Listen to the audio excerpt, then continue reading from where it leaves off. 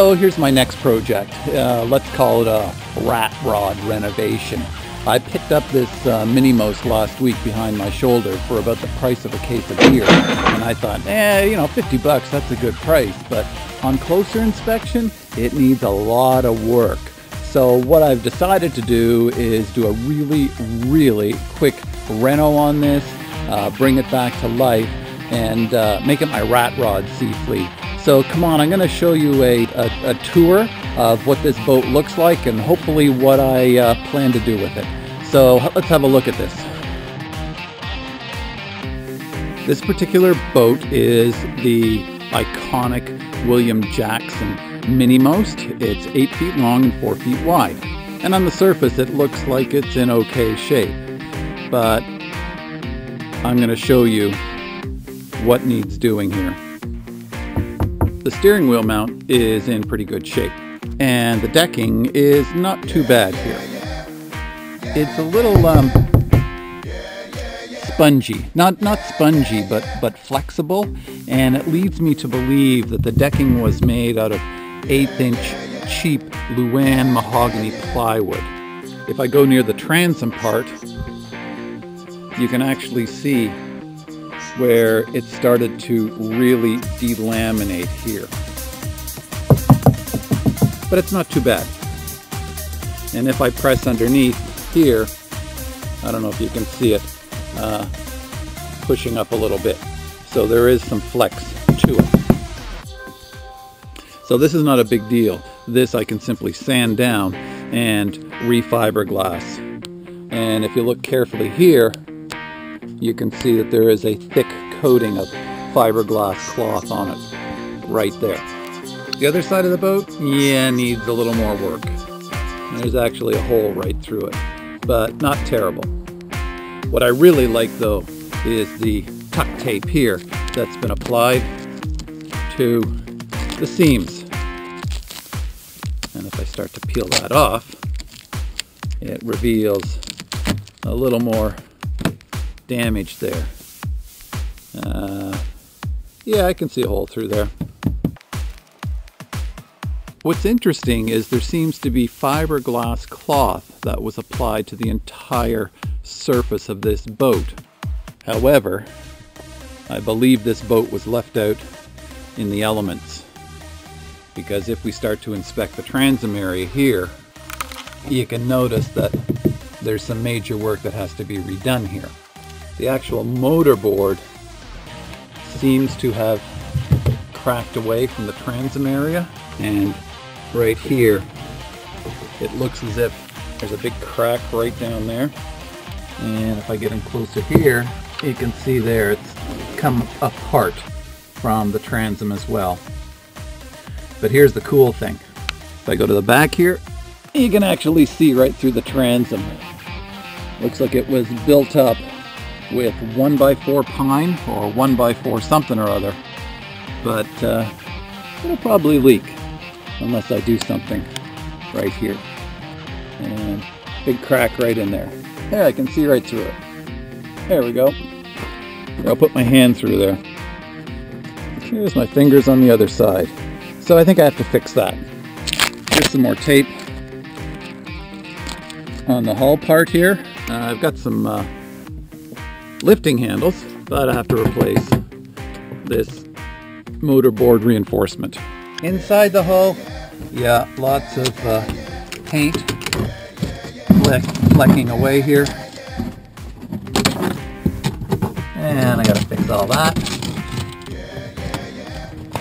But if I start to push on the inside here, uh, yeah,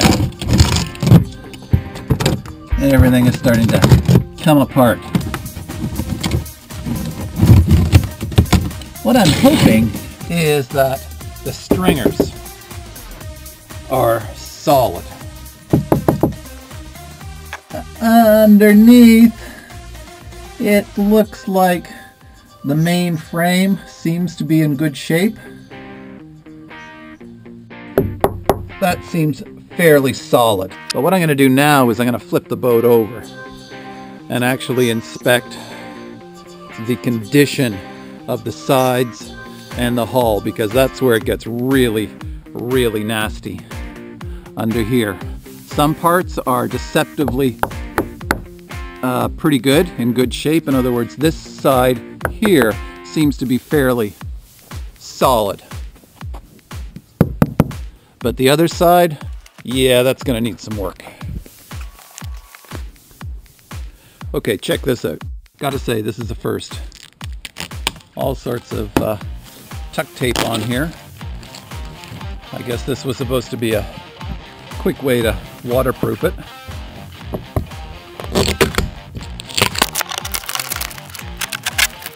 It's soaking under here. This wood stringer here is just sopping wet.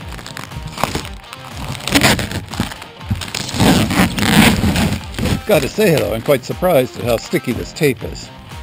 Can't say it's a very good waterproofer, and it's not epoxy, but whatever works. Ugh. So here's the hull. And uh, more tape here. And more tape here. And as you can see, the it's kind of delaminated a bit. Lots of tape here. And some checking here. So needless to say, the hull needs replacing. And if I start to look at this wood, it's not spruce plywood or fir or mahogany. It's this really cheap Luan door skin material here. And because it's been left out in the open, um, I could pretty well put my finger through there.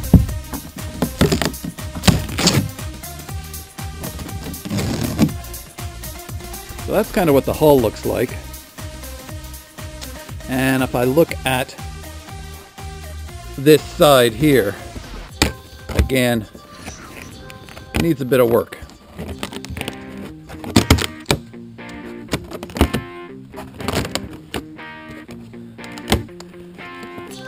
Not too sure what was holding this together.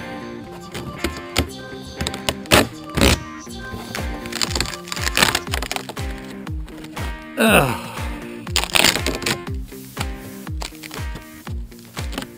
Let's see here. Oh yeah, look at that. Ah, there's a hole in it now. You think this side needs replacing?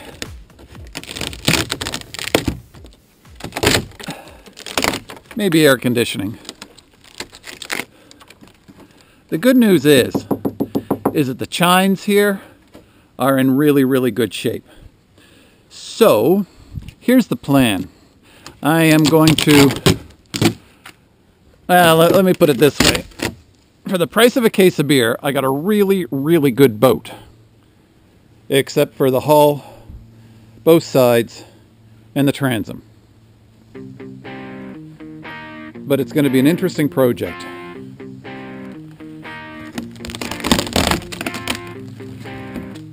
and I'll keep you updated on how it goes here, but this is definitely going to be my rat rod flea.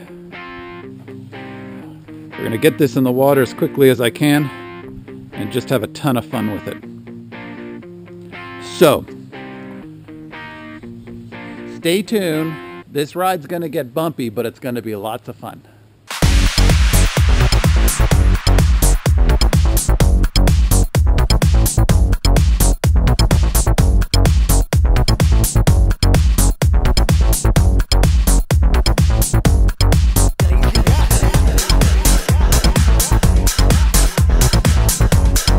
Here's what I love about restoring old boats. You really get to see how they were put together originally. And not unlike other Seaflea builds, three inch glass tape was put on all the seams here. Right down the gore on this mini most here and right along the, the, the uh, seams here. But what I found very interesting was there's a seam in the plywood right here, which means that they're two separate sheets. There was one sheet of plywood from about here to the nose and then a second sheet down there. And in fact, anybody that has built the Minimost or the Minimax knows that this should be all one continuous sheet. um, chances are this was just a quarter, sort of half round sheet here. And that kind of explains why, well, two things. One, it's very cheap plywood. It doesn't have a lot of structural strength, but because it's sectioned here as well, and chances are it's sectioned over here, there's no real strength in this part of the boat. So anyway, I'm going to continue on. I'm having lots of fun ripping this thing apart here. Um, I can't get over this tape. This is brilliant. And uh, I'm going to strip everything down and uh, see how it uh, goes from there. So the rat rod restoration continues.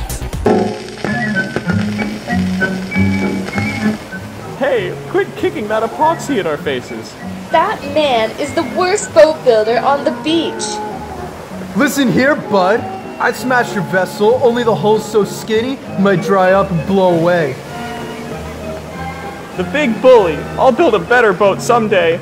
Oh, don't let it bother you, little flea boy. Darn it. I'm sick and tired of being a sea flea weakling. Charles Ballast says he can give me a real sea flea hull. All right, I'll gamble some plywood and glue and get his free building book. Four to six weeks later. Boy, it didn't take Ballast long to firm up my hull. What a solid and strong transom I have. That bully won't make fun of my epoxy now. What? You here again? Here's something I owe you. Oh, Mac, you are a real boat builder after all. Gosh, what a stern. He's already famous for it.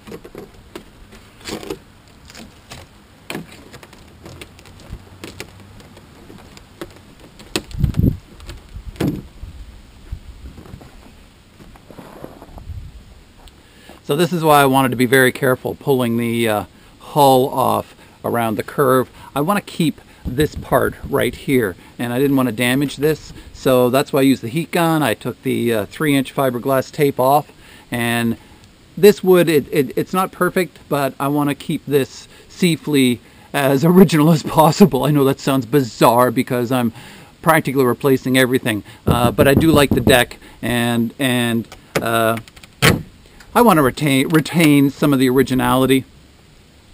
So I'll sand this off and uh, I'm going to keep going here.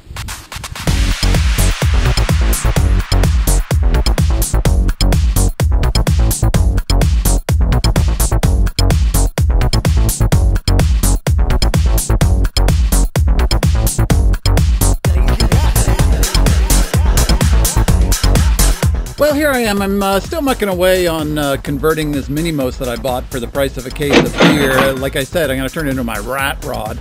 Uh, currently working on um, stripping out the uh, transom area, and it's pretty rough. So uh, let me uh, let me show you what I'm doing here. Okay. I've got most of the plywood hull removed. Still have to sand out and take out a lot of this crap here.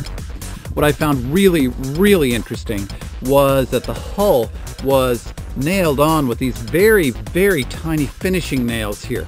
I'll see if I can pull one out for you. Uh, let's see, here's one right here. And they are, there, there it comes there. That's kind of it. There it is. right there. They're about three quarters of an inch or an inch long and they're just these very tiny finishing nails and that's those are the nails that the whole hull was uh, put on with, the uh, plywood hull. The good news is that these uh, side bits right here are uh, fairly intact, so I'm not going to replace those. I'm just going to sand them down.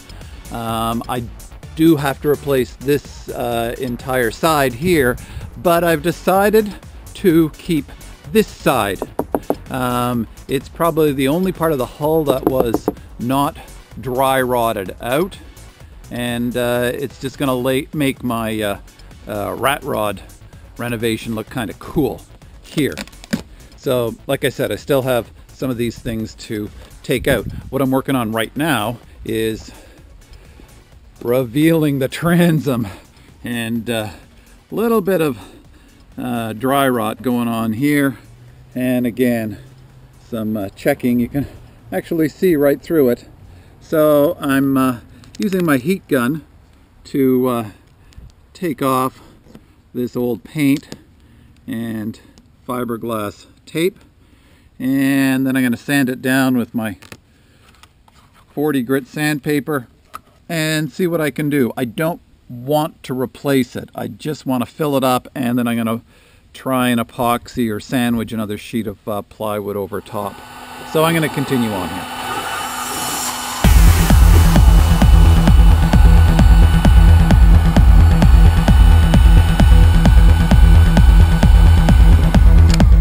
So as you can see, the parts of the transom here are kind of punky. Uh, a little bit of a dry rot going on. And uh, right in here, got a huge hole. And I think that's because the uh, motorboard support plate on the inside somehow came loose. And it's probably put everything out of kilter here. Like I said, I really want to avoid replacing this whole transom uh, because then I'm gonna have to take off all of the stringers and the uh, and the uh, top decking. So I'm going to sand this down. I'm going to fill it in uh, with uh, uh, high density epoxy filled uh, epoxy that, that's mixed with high density filler. And then I'm going to sandwich another quarter inch piece of plywood over top of here and hopefully I can salvage this thing. So let's see what my 36 grit sandpaper can do here.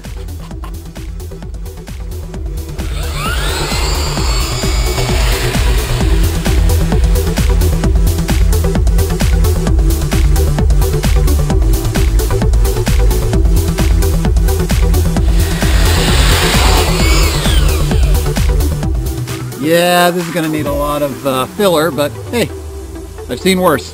Well, maybe I haven't. I don't know.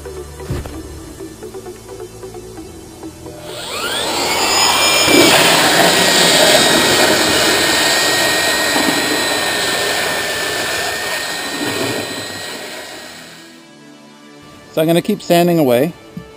Like I said, this side seems to be pretty good here. So I'm going to keep that. And I'm going to keep it the original red. And I'm going to work on re-strengthening this transom here. I'm going to take out the uh, drain hole brass sleeve and then as you can see here the uh, motorboard plate has I don't know bent away from the transom and it's split here. So I'll probably have to replace that but I'm not going to do that until I reinforce the whole transom area. But I think it can be done so I'm going to carry on here.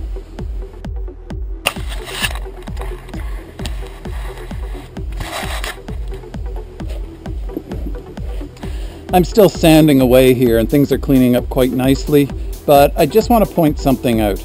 There are two types of adhesives that I absolutely can't stand. One is the Sikaflex, and uh, viewers of the website will know that I just had a real problem with my Minimost XL and the Sikaflex. The other thing I can't stand is this frickin' Gorilla Glue here. And I don't, they use Sikaflex, they use glue, they use Gorilla Glue, they use tuck tape to put this whole thing together. Um, nothing wrong with that, it's just, it's just not gonna hold together. But the Gorilla Glue is here and it foams up and I can literally pull off this board here that's been fastened with the Gorilla Glue. and it's just useless stuck. They may say it's waterproof, but it doesn't hold. It's just flying off here with no pressure at all, and the plywood laminate is just separating from the main structural supports. So don't use Gorilla Glue. It's just, I don't know what it's like. It's kind of like expansion foam. That's really all I can see. So there it is there. Just no pressure at all. And it's just peeling off like that. So don't use Gorilla Glue. It's awful, awful stuff. So the first thing I'm doing with this transom is I'm just brushing in some unthickened epoxy because I really want this to soak in to the wood grain here. And then what I'm going to do after it soaks in is I'm going to fill it with my high density filler. I want good adhesion in here. Especially at these dry rot places here. So this is just straight West System epoxy. And I'm really pushing it in.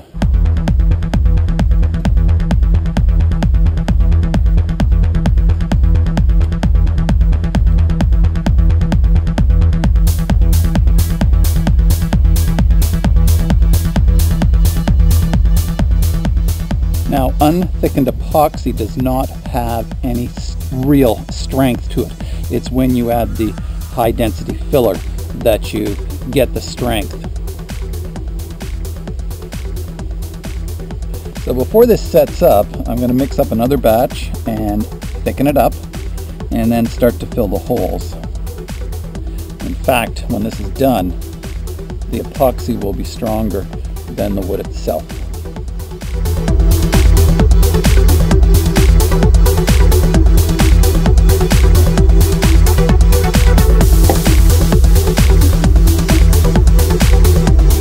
Like I've said in other tutorials, this has to get mixed to the consistency of peanut butter.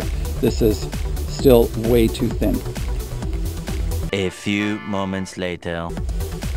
Well, after searching around, it seems as if I'm out of more high density fillers, so I don't want this to go to waste. So I'm going to mix in some low density here.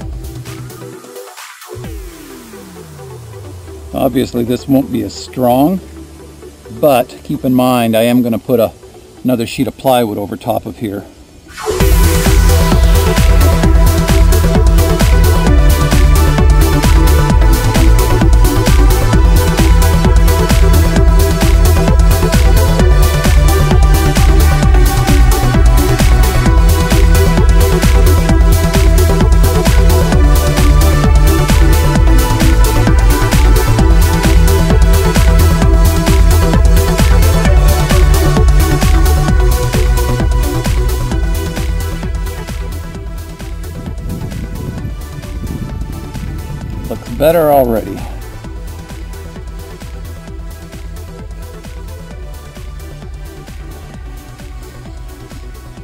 all I'm going to do for now.